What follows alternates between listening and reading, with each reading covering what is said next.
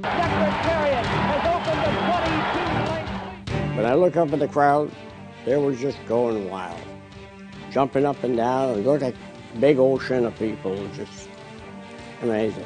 An unbelievable, an amazing performance. I will never forget that day. What race will you remember? The 147th Belmont Stakes Racing Festival, June 4th through 6th at beautiful Belmont Park.